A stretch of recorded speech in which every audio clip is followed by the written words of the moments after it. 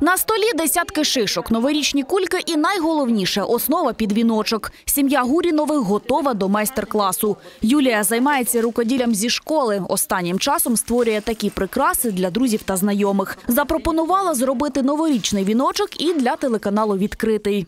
Обмотали, сделали форму, какой по толщине нам хочется, очень толстый, не очень толстый. А, И потом обматываем эту всю основу или мешковиной, или лентами, или, как у есть у многих хозяйок, есть какая-то ткань, Зробити прикрасу можна з будь-чого, що потрапляє під руки. Головне бажання, каже Юлія. Беремо картон, вирізаємо діаметр такий нам, як подобається, вирізаємо такий бублік. Потім беремо рекламу, яку нам сують всі в почтові ящики, достаємо цю рекламу, жмакаємо її і на скотч цепляємо до цього картону. І виходить отакий бублік.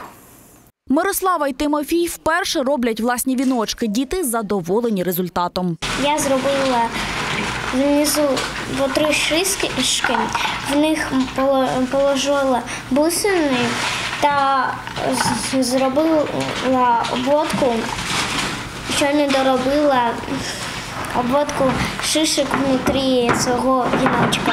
Я з самого початку почав відбирати червоні деталі та вже уявляв, як це буде виглядати. Юлія робить віночок для студії новин Open Use, а я спробувала змайструвати собі власний. Юля порадила мені працювати із синім та жовтим кольорами. Е, Для свого різдвяного віночка я обрала трошки шишок, додала новорічних кульок та оздобила це е, жовтим бантиком. Виходить досить непогано, але ще ми не закінчили наш результат. Віночок повинен бути гарним та одразу впадати в око.